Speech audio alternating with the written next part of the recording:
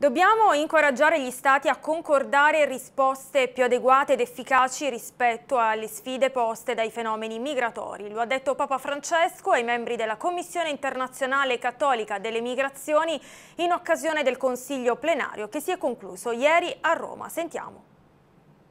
Insieme dobbiamo incoraggiare gli Stati a concordare risposte più adeguate ed efficaci alle sfide poste dai fenomeni migratori e possiamo farlo sulla base dei principi fondamentali della dottrina sociale della Chiesa.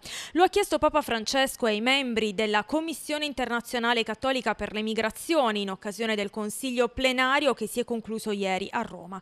Dobbiamo impegnarci, ha detto, per assicurare che alle parole codificate nei due patti seguano impegni concreti nel segno di una responsabilità globale condivisa. Secondo Papa Francesco, per liberare gli oppressi, gli scartati e gli schiavi di oggi è essenziale promuovere un dialogo aperto e sincero con i governanti, un dialogo che fa tesoro dell'esperienza vissuta, delle sofferenze e delle aspirazioni del popolo per richiamare ciascuno alle proprie responsabilità.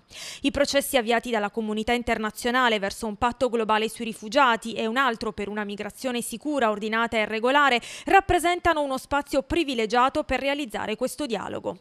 Anche in questo questo, ha aggiunto il Santo Padre, la Commissione si è impegnata in prima linea, offrendo un contributo valido e competente a trovare quelle nuove vie auspicate dalla comunità internazionale per rispondere a questi fenomeni che caratterizzano la nostra epoca.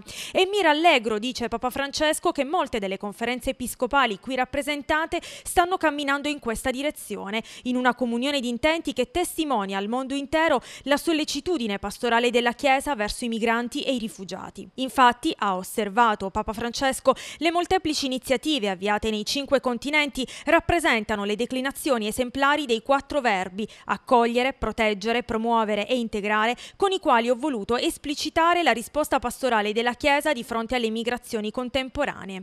Auspico, ha poi concluso Bergoglio, che quest'opera continui animando le chiese locali a prodigarsi per le persone che sono state costrette a lasciare la propria patria e che diventano troppo spesso vittime di inganni, violenze e abusi di ogni genere genere.